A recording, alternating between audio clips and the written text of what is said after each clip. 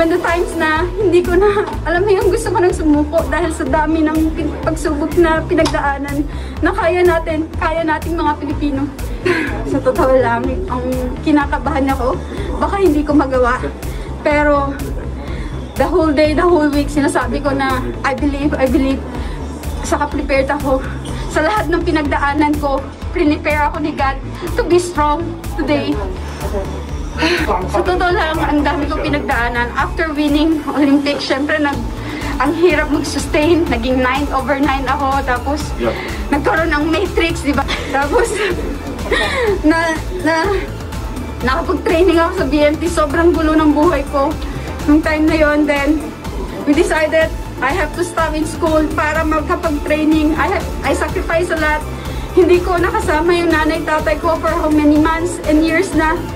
Then sa training, syempre masakit. Lahat masakit sa training. Pero may plano si God.